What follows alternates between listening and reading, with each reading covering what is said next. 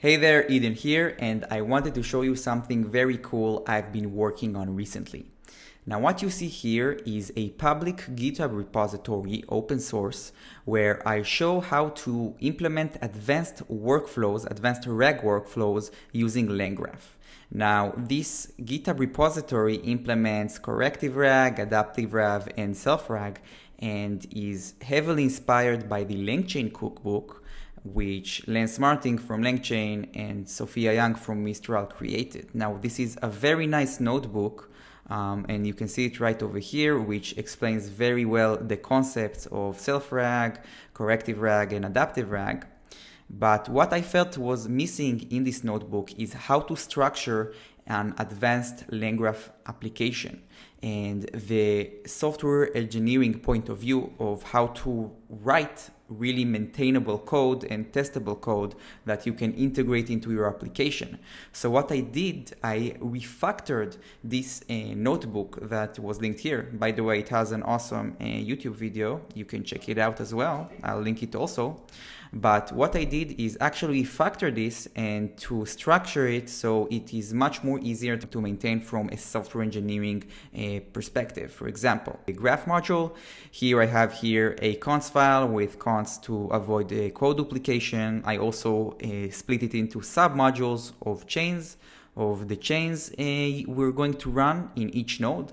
And I have here also um, tests. Sorry, I have here also tests for those chains. And you can see here we wrote some unit tests. So we always want to write, of course, a test for code. And let's go and see here the nodes. And here we have all the nodes and each file is going to have one implementation of the node.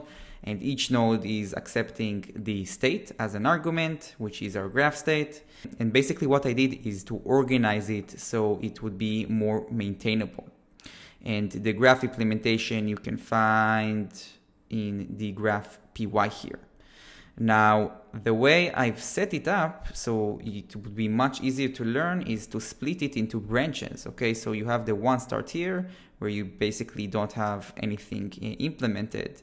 Then you have the project structure of how I think a LangGraph um, project application should look like. Okay, so it basically should have the chains module and the nodes module.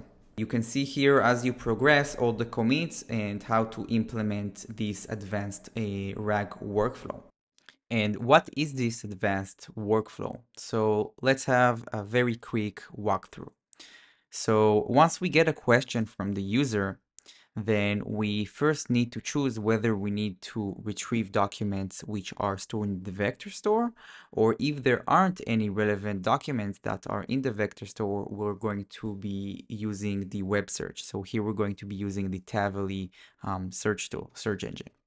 So after let's say we took the route that we need to retrieve information so after we retrieve information from the vector store, we start grading the documents we retrieve. So we're starting to say whether those documents are relevant to the user's query.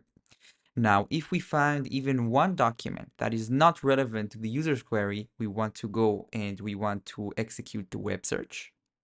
Now we have some documents that were relevant to the query and we also have the web search results.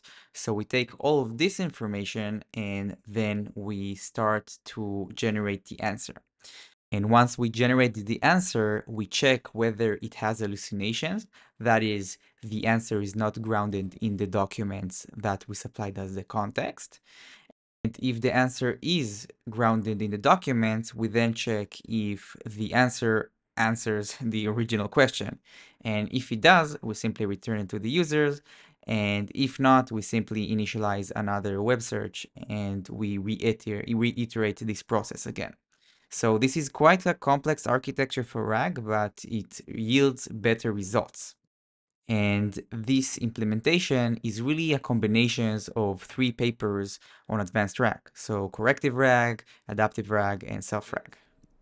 So that's pretty much it. Please let me know what you think about it. And again, a big shout out to Lance and Sophia for making the original video, um, which inspired this. So this is only my opinion is what I think how LangGraph applications uh, should look like uh, when you integrate them into your actual code bases.